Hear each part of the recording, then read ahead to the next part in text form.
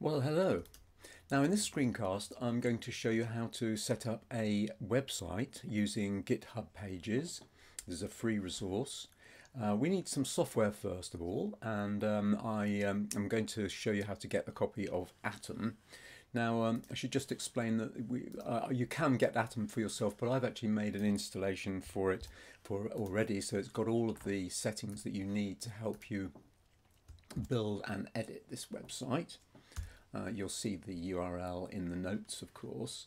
Um, but this is now just downloading to my downloads folder.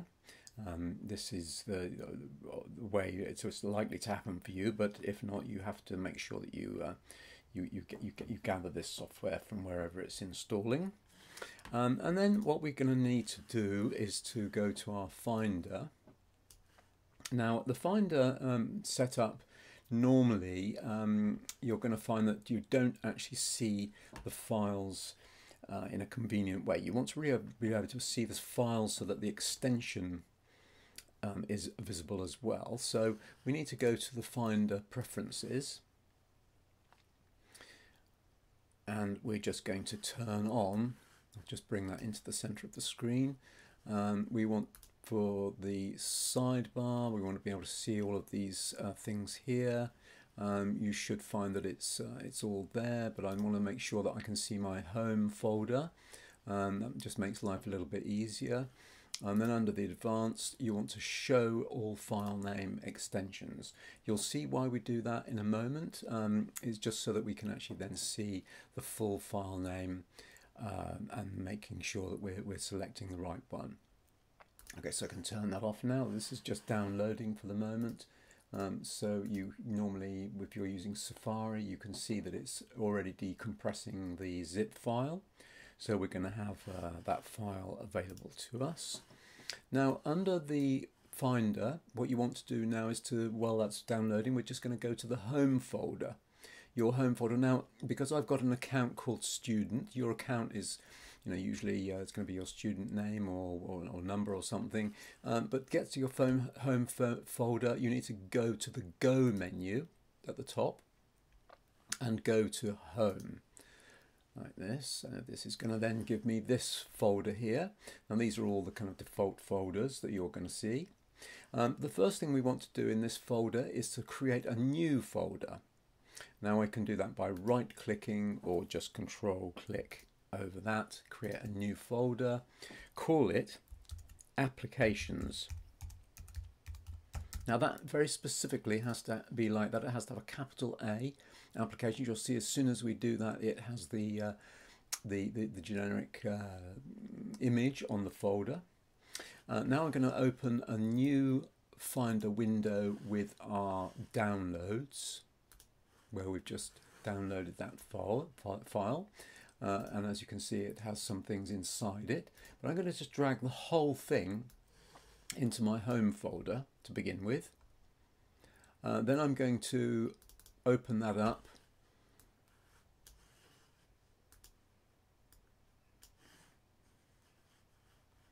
Go back to my home folder again. Uh, and I'm going to drag the application of atom.app now you'll see why I wanted to show you the full uh, file name because that now needs to go into the applications folder.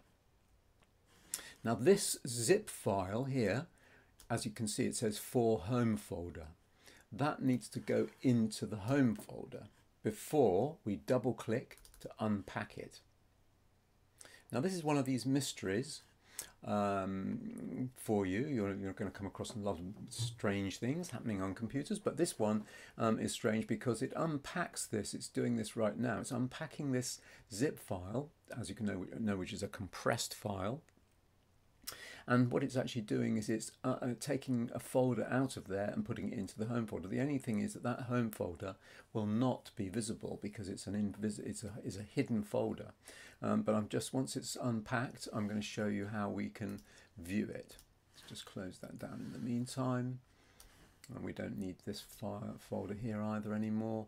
Um, so we're just letting that um, archive utility unpack that.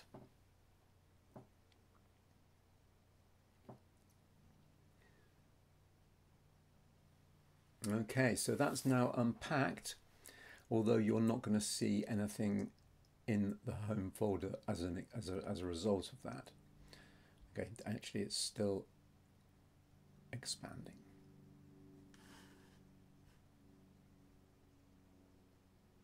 Right, now, um, mysteriously, it's put a hidden folder in there. Now, um, just to actually be sure that we've got it, this is how we do that. If you press um, Alt Command, no, I beg your pardon, Shift Command, and full stop on the keyboard, you'll see that it actually reveals some slightly grayed out uh, files. Now, one of them is that one there, dot .atom. Now we don't need to see the, uh, these uh, invisible files, so I can turn that off again. Uh, but it's just to reassure you that it actually is in there. These two things here we can now actually delete. Just put them into our trash can.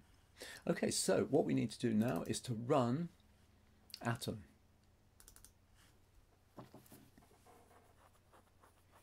Now Atom is a, a fantastic uh, text editor and uh, code editor.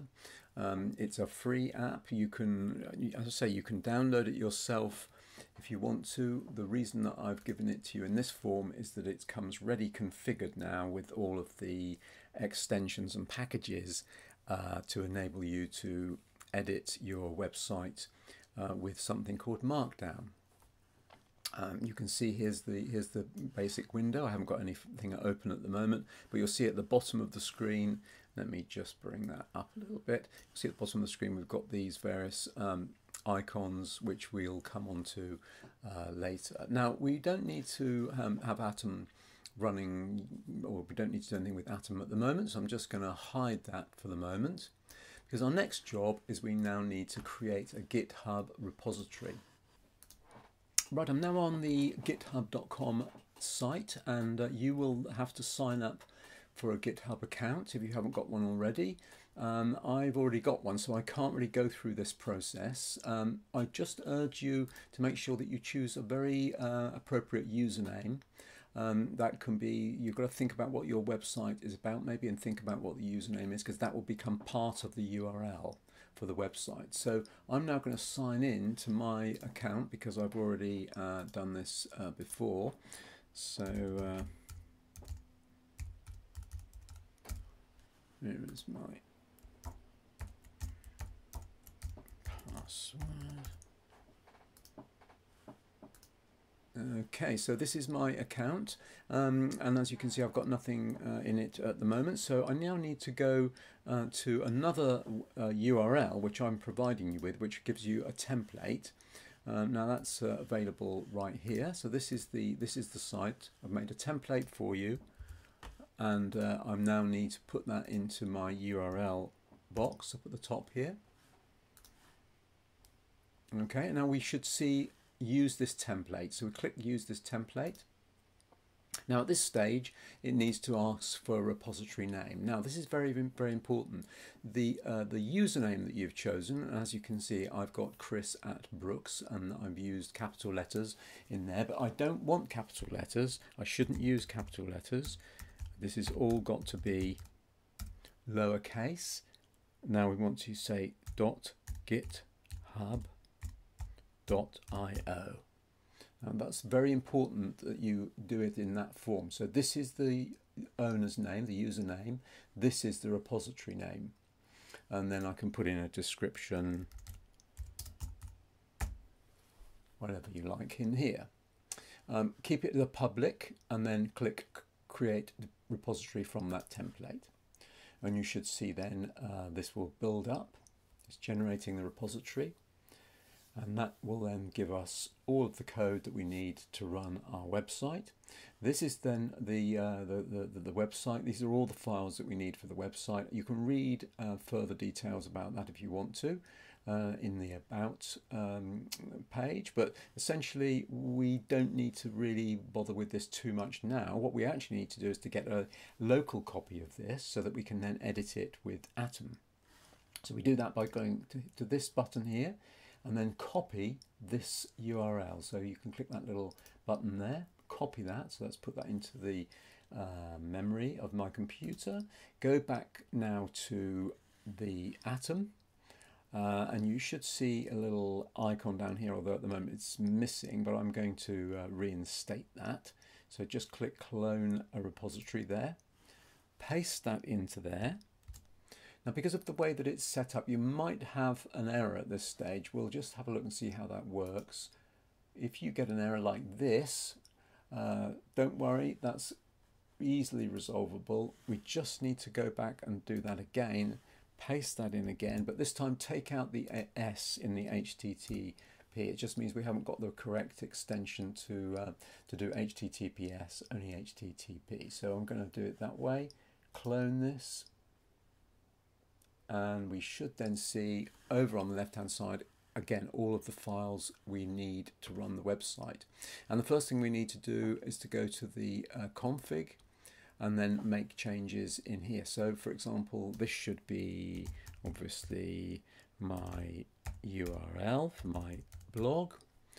Uh, and I'm just going to copy that because I need there's another place a bit further down here where I need to put that in and I also need to change some things like uh, what I want this to express. You know, this is uh, uh, books a go go. I don't know whatever it is that you want to call it. Um, and when you want a description of the website, I'm just going to leave that website with blog posts. I mean, you just need to make these changes. You will later on need to change some of the placeholder uh, images, like the face image and uh, what you want to put in the header text.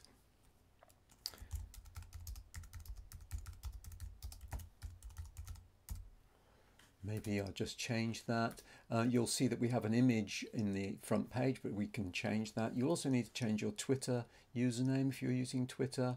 Um, and there also, and then down here, uh, you want to change the footer text to have your own name or whatever it is that you want to call your blog. Okay, and then once you've done all these things, uh, save that and you'll see that that changes the config.yml file into an orange color, meaning that that's now ready to be uh, uploaded to the website. And we now need to click this little button down on the right hand side where it says Git. You'll see then that that goes into the unstaged changes and we need to change to, to, put that down into the stage changes then we need to put a message in. First edit of the config file. Okay just and then commit that to master. Push that up now, um, you should, in the first for the first time, you will be asked to put in your credentials, but because I've already done that once, uh, we don't need to do that anymore. So you will be asked to, to, to, to sign in to GitHub in order to put that information up. Now I'm just going to go to the website again, and you should see if we go, we can actually get the URL of our website by just going to settings. And if you have a look down here, a bit further down, that's where the site is. There we are, that's my site that I've created. So you can see that I've made these various changes here. You need to change the About page, um, and you do that by going to the Pages folder, and you'll see that you have an About page there. Make these changes in here, and make changes to and add in a post. Um, so let's just add in a post very quickly and we do that by going down here to um, this little uh, button uh, down left hand side, add new post. Okay, and the title of the post is uh, I made a screencast. Okay, and then we just type into this anywhere we like. And we're using Markdown, so if you just start typing, that's going to become your first paragraph. Um,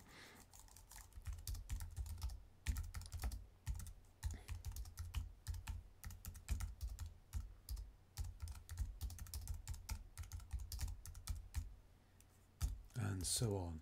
Let's actually make sure we get it right. And now I'm just going to put in some other information um, and I can just uh, type something in. Again like that that's a second level heading.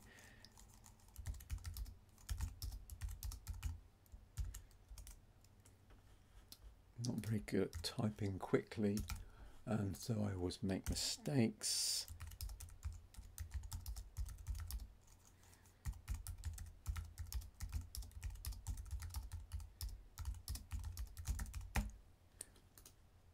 And so on. So that's our new post. Uh, you'll see that it's not published, so we need to change that to true for it to be published. Uh, the date is automatic.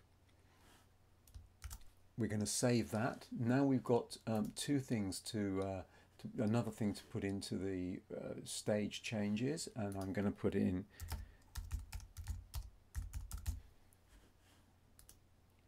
and push that up the site. And then after a few minutes, we should find